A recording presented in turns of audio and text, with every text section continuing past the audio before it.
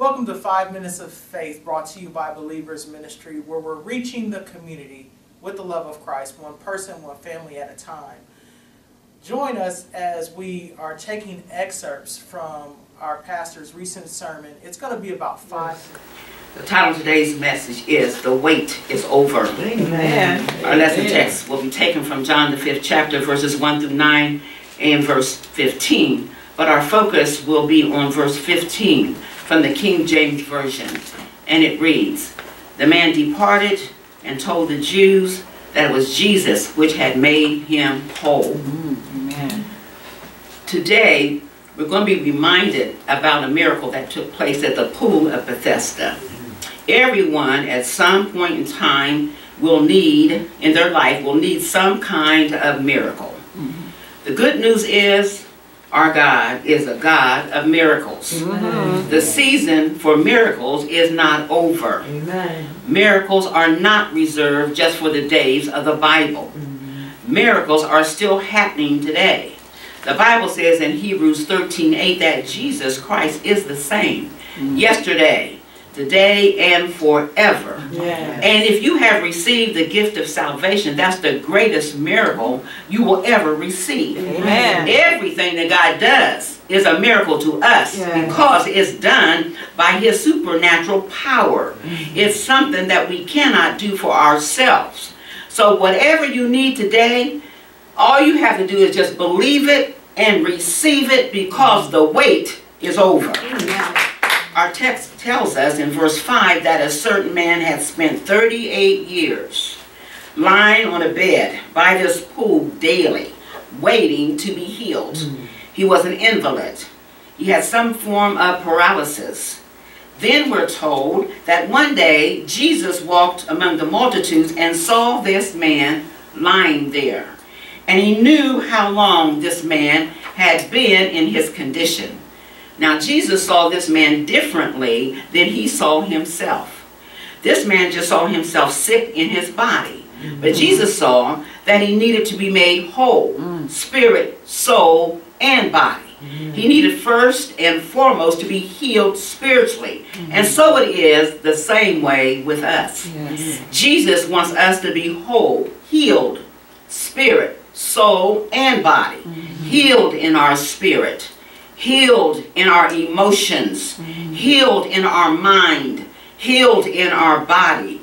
Total healing, spirit, soul, and body. The lame man acted on the word of God. He got up, took up his bed, and walked. His faith in God's word to get up brought him through to victory. This mm-hmm. man now did not walk in his own strength. He walked in the power of God. Yes. And the scripture says immediately mm. the man Yes. was made Well. whole. When Jesus speaks, mm-hmm. things change. There's power in the word of God. Yes. Hebrews 4.12 Amen. tells us that God's word is alive mm. and it's full of power. Yes. There's healing in the word of God. Yes, Psalm oh, oh Jesus. 107 verse 20 says he sent his word mm. and he healed them. Whatever we need is in the word of God. God is saying to us, say, get up. Take up your bed and walk. Yes. But before we can stand, we have to get up. Mm-hmm. We must be willing to mm-hmm. get up from where we are and take up our bed. Take up that situation. Yes. Take up Yes. that circumstance. Yes. Take up that attitude. Take up whatever is holding us back. Take up whatever is keeping you down. Get up and walk in obedience to the word of God. well. Hallelujah. Bless the wonderful name of Jesus. It's time out. Yes. The wait is over. Faith and obedience bring God on the scene. If we will make the effort mm. to act on God's word, God's power will meet our effort and take over Well, from there. Amen. Just God knows what's best for us. He knows all things Jesus. and he makes no mistakes. Yes. God is working all the time. Mm. He's behind the mm. scenes orchestrating everything. Remember, when you are born again, believer, God causes all things to work together for good to those of us who love God and are called according to his purpose. It doesn't matter how bad things Jesus. seem sometimes. Well. It doesn't matter how hopeless things seem sometimes. God had turned that situation around, working for our good And we know that one of the things that he does, he's making our character. Character is the sum total of our habits. Making our character so we can be a stronger witness for him. Just release your faith in Jesus and tell the Lord that you need his help right now. And make up your mind today that you need Jesus to help you. Don't leave here the same way you came. Get up from that situation. Get up from that broken relationship. Get up from that disappointment. Get up from the hurt.